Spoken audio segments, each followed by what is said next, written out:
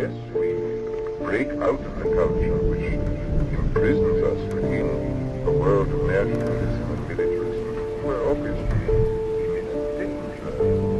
And also, given the kind of culture, Twice I turned my back on you. I fell flat on my face, but didn't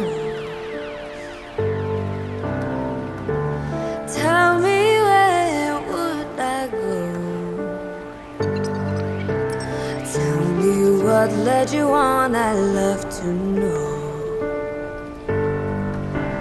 Was it the blue night? Gone fragile?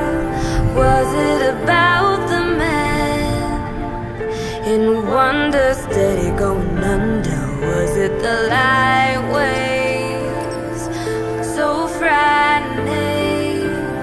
Was it a two? One mirror holding us now?